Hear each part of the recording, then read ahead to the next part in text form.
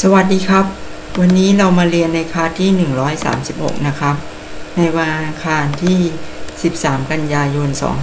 2565 โดยท่านอาจารย์ ดร สุพงษ์สมวัตินะครับ สามเหลี่ยมด้านเท่า equilateral triangle นะครับ ตัวนี้จะเป็นด้านละ 4 เซนติเมตรนะครับ ดังนั้น เขาบอกว่า ให้ตรงนี้เป็นขอดของวงกลม นะแล้วก็ให้หาเส้นหาพื้นที่ตรงส่วนสีเทานี้นะครับ ดังนั้น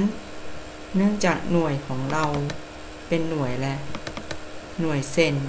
ดังนั้นยูนิตตัวนี้ก็เปลี่ยนเป็น cm นะครับ cm เซนติเมตรใช้สูตรนี้เลยนะครับ ต่อจากเมื่อ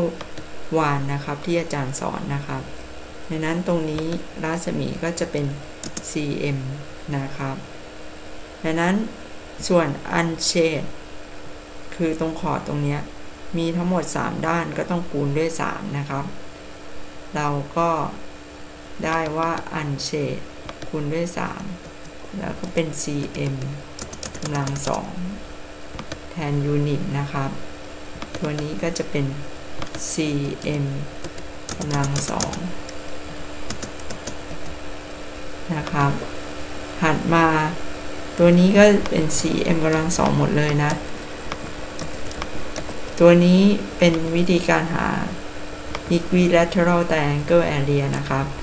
รูท3ส่วน4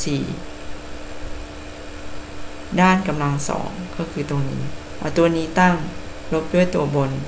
ก็จะได้คำตอบแล้วว่าส่วนตรงที่แรงเงาคืออะไรนะครับ ก็